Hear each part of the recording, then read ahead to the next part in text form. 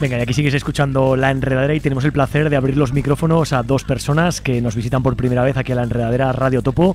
Damos la bienvenida a Quique y a Daniel. Buenas noches, chicos. Hola, buenas noches. Han venido en representación del, del Consejo Territorial de, Aragón de la cooperativa Som Energía. Queríamos dar a conocer Som Energía, que yo creo que lo hemos citado en alguna ocasión, hablando de energía, de energías renovables, criticando las nucleares o el fracking. Pues bueno, hay alternativas. Y queríamos conocer esta cooperativa comercializadora y productora de electricidad renovable que además está pues celebrando unas jornadas, ¿no? Todos los miércoles de noviembre.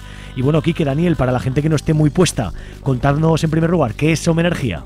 Sí, bueno, hablo. A ver, pues Som Energía es una cooperativa que nació en torno al diciembre de creo que hace tres años ya, va a cumplir tres años. Eh, nació con el espíritu de sin ánimo de lucro, por supuesto, cooperativa.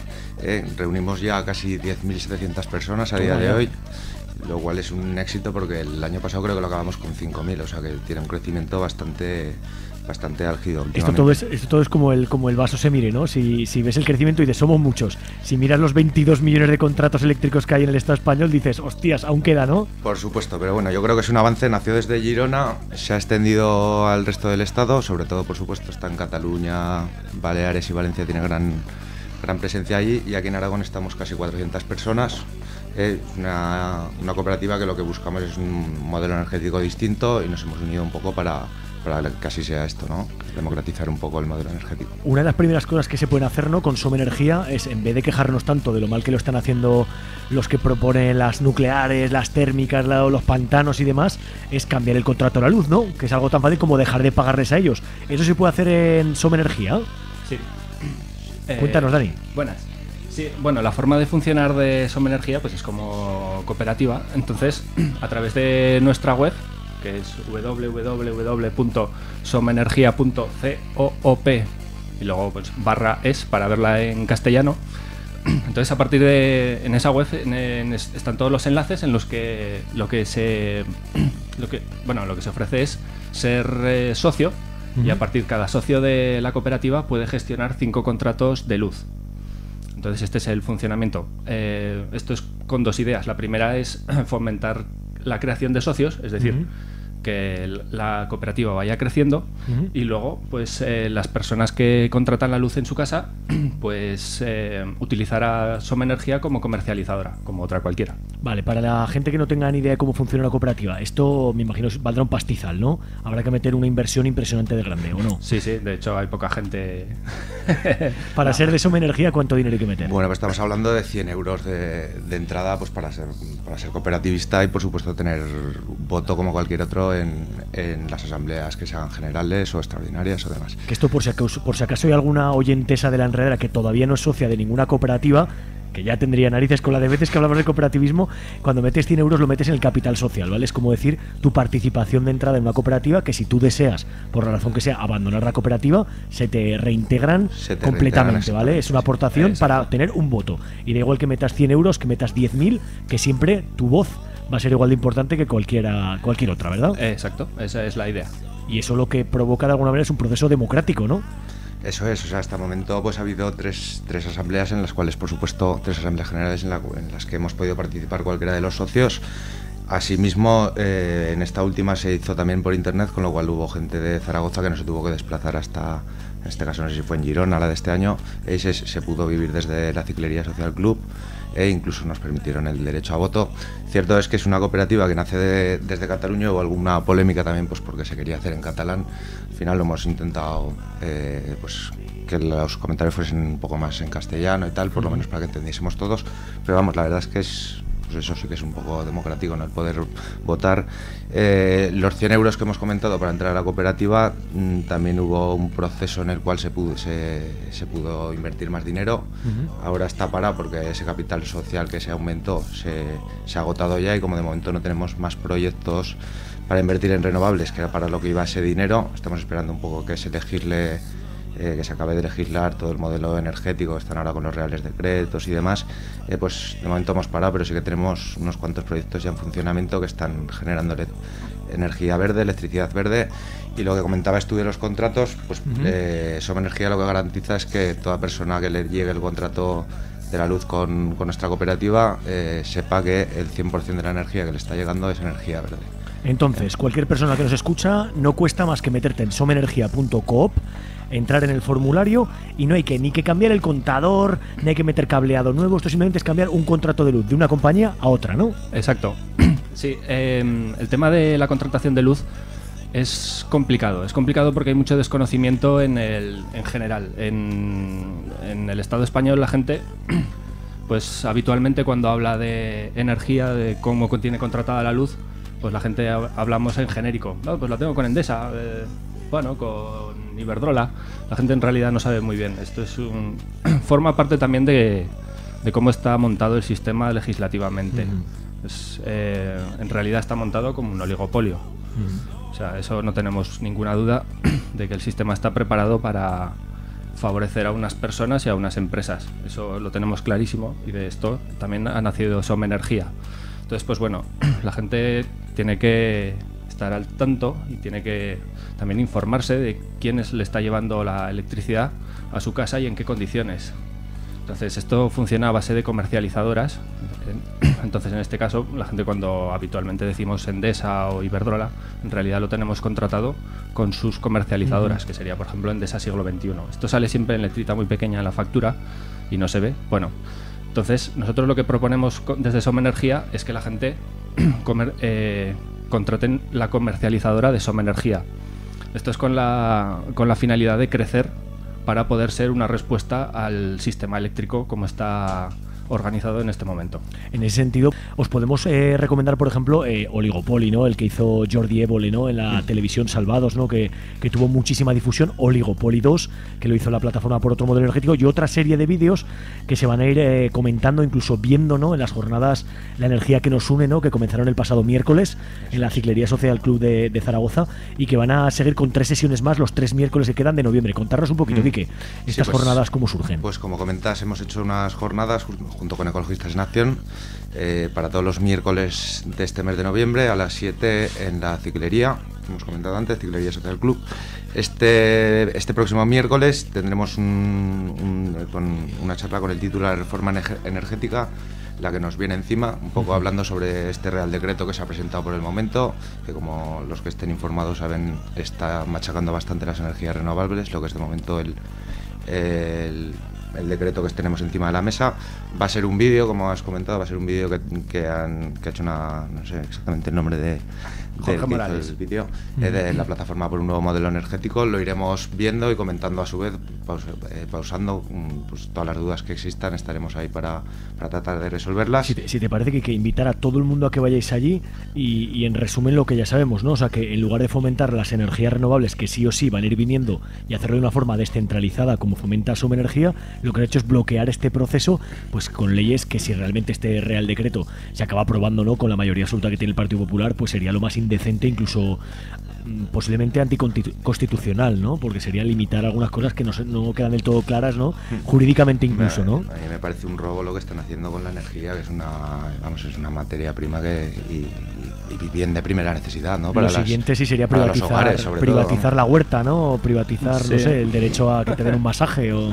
Sí, o sea, ahora tal y como está el Real Decreto, el que tú produzcas energía y que incluso regales tus excedentes, eh, te van a cobrar por ello. O sea, ya no te van a cobrar por lo que consumas, sino que encima te van a cobrar por producir lo que tú consumes y lo que tú mismo te estás produciendo a ti. Venga, pues en primer lugar, este miércoles se hablará específicamente de este tema. La verdad que estas jornadas están muy bien para personas que os queréis iniciar en estos temas porque en una hora o una hora y media como mucho que, que están durando o duraron el otro día, ¿no? La primera actividad, me imagino será similar otros días, pues ya te quedas con una parte importante, puedes resolver tus dudas, porque la gente Soma Energía, pues podemos decir que entre unas y otras sois expertas, ¿no? En, en estos temas o por lo menos podéis aportar bastante y, y al final, después de las cuatro sesiones, ¿no? Pues te puedes hacer un poco una descripción del paisaje bastante global, ¿no? Que es lo que interesa también, ¿verdad? Sí, yo creo que vamos a intentar abarcar un poco varios, varios temas en las jornadas en este mes, ¿no? Aparte de lo que viene a ser la reforma energética que se nos viene, el miércoles siguiente también tendríamos otra otra charla un poco sobre los tipos de energía, que me parece que la, eh, la van a hacer los compañeros de Ecologistas en Acción, ¿eh? sobre lo que es nuclear, térmica, el fracking y, y lo que nos puede venir con estas cosas. Esto, por ejemplo, la gente que estéis con el tema de la fractura hidráulica, el otro día entrevistamos en la enredadera a, a José Luis Simón, que es doctor en geología, es una de las personas, pues digamos, con. Aunque él no quiso reconocer que es experto, pero bueno, que más, digamos, significada están siendo en la lucha contra el fracking, pues es una de las personas que va a venir, ¿no? Aparte de otros compañeros de ecologistas, pues para explicar bien lo que son las térmicas, lo que supone la central térmica de Andorra, por ejemplo, en Aragón, lo que supondrían los proyectos de fractura hidráulica en Aragón, en fin, que nadie falta irse muy lejos, ¿no? O las nucleares catalanas, las que tenemos aquí al lado, ¿no? Aquí al lado.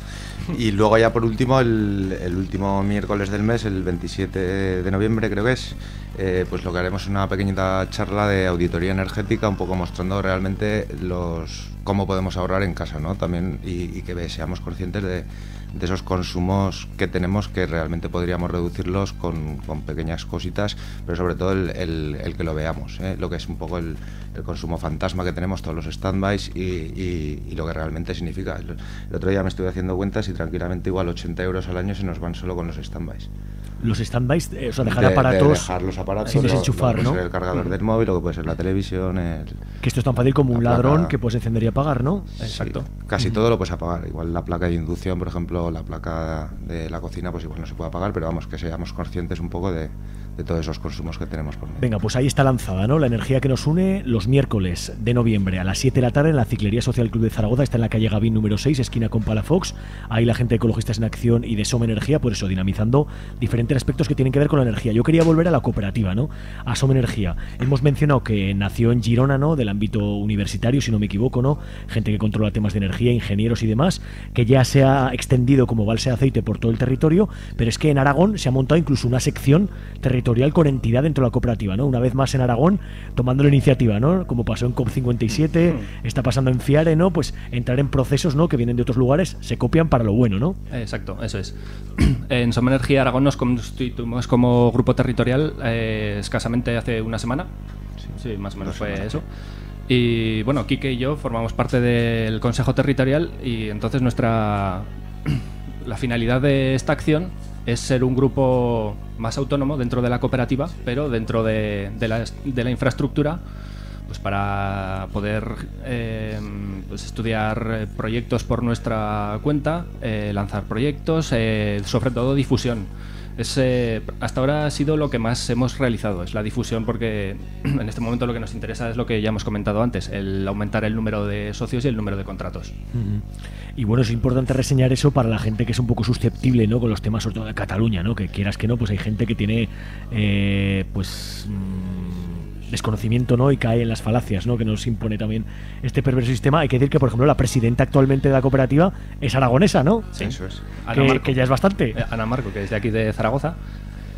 Eh, bueno, esto sí, tienes razón que hay mucha gente que es eh, desconfía o reacia al tema por eh, el tema del catalanismo. eh, esto es, eh, bueno, es, es un debate que está en la calle.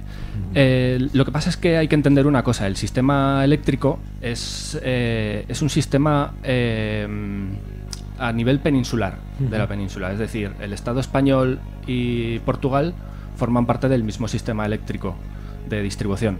Entonces, en, en realidad no tiene sentido hacer una cooperativa que solo funcione o cualquier tipo de empresa que, que distribuya, que sea comercializadora de electricidad o pretenda ser productora, no tiene sentido eh, eh, situarla solo en una comunidad por la razón que sea, comunidad autónoma, eh, región, bueno, llámalo como quieras, porque como es que ahora cada uno llama de, de una manera, entonces no tiene sentido porque hay que entender eso, que es que el sistema, o sea, funcionamos a nivel peninsular, entonces es así. Sí, sí, incluso el otro día comentaba la propia Ana Marco, ¿no? En la primera de las sesiones, que el, que el sistema eléctrico portugués eh, es eh, exactamente igual que el sistema eléctrico español. Es decir, que allí sí. las leyes que parece que está imponiendo el Partido Popular no afectan, con lo cual se podría invertir en renovables incluso allí desde Soma Energía, ¿verdad? Sí, a ver, el sistema de distribución, digamos, de la energía es el mismo, bien sea aquí en, en la península ibérica, o sea, en lo que es en España, pero en la península y en Portugal, quiero decir, en- por ejemplo, en las Islas Canarias, en las Islas Canarias o incluso en Baleares es otro sistema de distribución, ¿no? Pues directamente porque son islas y, y así es. Baleares funciona, es eh, del mismo. Bueno, Las Canarias no son las que cambian. Las Canarias, sí, las Canarias son siete islas. Además, Canarias tiene el problema de que son siete islas y son siete sistemas diferentes. Ujú. Entonces, eh, lo cual dificulta mucho eh, en- entrar ahí. Disculpa, aquí que.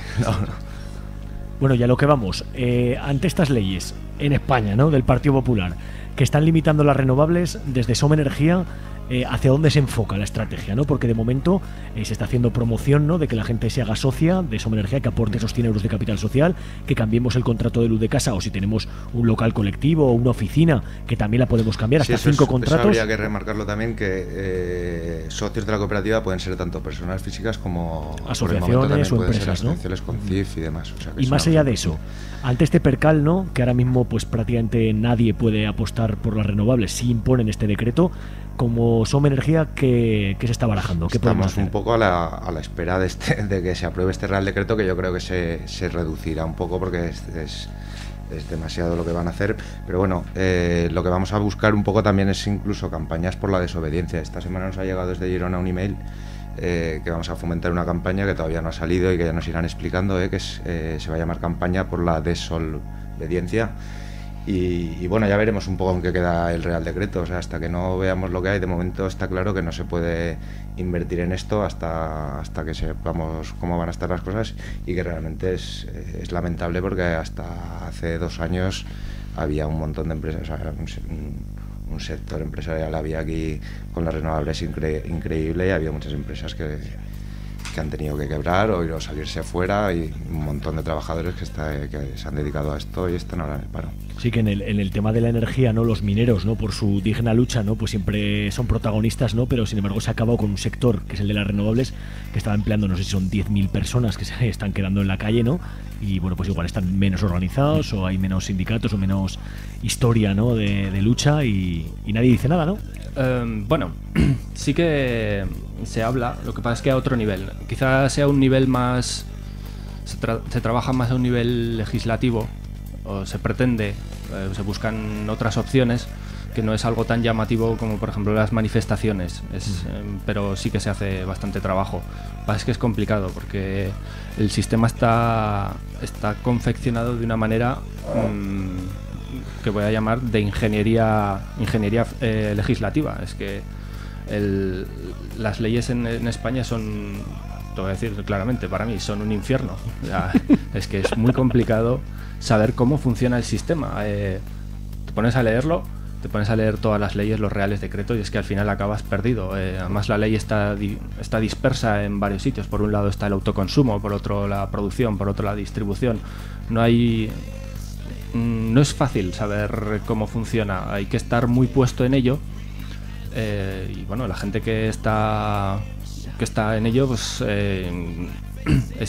son muy profesionales y, bueno, están trabajando bastante. sobre todo, por ejemplo, la persona que vamos a que vamos a poner el vídeo el miércoles que viene, Jorge Morales, es una persona que trabaja bastante. Yo estaba hablando con él y sinceramente me lo dice, es que esto es un infierno, está bueno, afortunadamente en este infierno todavía se pueden hacer algunas cosas. Si tú que nos escuchas todavía no te has hecho socia de Somenergía, ya lo tienes claro. Deberes para esta semana, entrar en somenergía.org barra es. Si lo quieres leer en castellano, ahí te informas bien. Y si te interesa, pues reservas 100 euros si tienes algo de ahorrico.